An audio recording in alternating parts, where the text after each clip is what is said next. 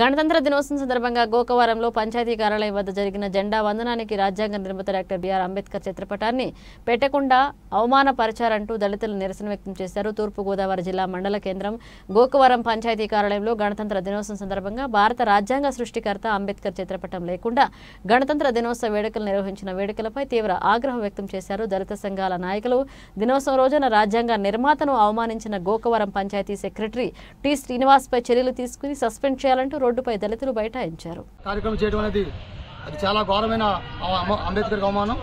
దాన్ని ఖండిస్తూనే ఇలాగే మరి ఈ అధికారులు చాలామంది ఏమనుకుంటున్నారో తెలియదు కానీ ఈ దేశవ్యాప్తంగా చాలామంది చాలా దిక్కుల అంబేద్కర్ యొక్క చిత్రపటం లేకుండా ఈ కార్యక్రమం నిర్వహిస్తున్నారు. ముందుగా వారు ఈ ఉద్యోగాల్లోకి వచ్చినప్పుడు రాజ్యాంగం చదివి వస్తున్నారా? రాజ్యాంగ స్ఫూర్తి వస్తున్నారో తెలుసుకోవాలి.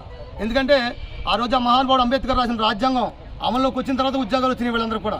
ఇటువంటి కార్యక్రమాలు మరి దేశవ్యాప్తంగా అంబేద్కర్ చిత్రపటం లేకుండా చేసినట్లయితే రేపు రోజుల్లో ఈ దళిత జాతి అంతా కూడా పెద్ద ఉద్యమం చేసి దీన్ని ప్రతిఘటిస్తామని దళితుల పూర్వకంగా మేమందరం కూడా చెప్పడం జరుగుతుంది.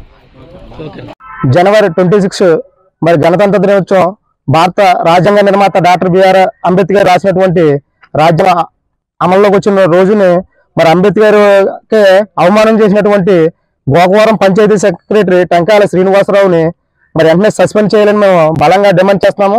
లేని పక్షంలో ఇది రాష్ట్ర వ్యాప్తంగా తీసుకెళ్ళి మేము పెద్ద ఇష్యూ చేయవలసి వస్తుంది. ఇదే బహిరంగంగా ఆయన మా అంబేద్కర్ విగ్రహాన్ని వచ్చి పాలాభిషేకం చేసి అందరి ముందు కూడా అంబేద్కర్ క్షమాపణ చెప్పాలనేసి నేను మనస్ఫూర్తిగా మేము అందరం కోరుకుంటున్నాం. ఆయన కుల వివక్షతోటే అంబేద్కర్ ఫోటో దూరంగా పెట్టి అంబేద్కర్ని అవమానపరిచే విధంగా చేస్తారు కాబట్టి ఆయన మీద అట్రాసిటీ కేసు కూడా నమోదు చేయాలనేసి ఇప్పుడే మన మండల మెజిస్ట్రేట్ అయినటువంటి తహసీల్దార్ గారికి మేము వినతి పత్రం ఇవ్వడం కూడా జరిగింది. దానికి వెంటనే చర్యలు తీసుకోకపోతే మాత్రం రేపే మేమందరం అందరం కూడా బెటాయించి దీన్ని రాష్ట్ర వ్యాప్తంగా ఈ ఉద్యమాన్ని ఉధృతం చేసి మేము తెలియజేస్తున్నాం.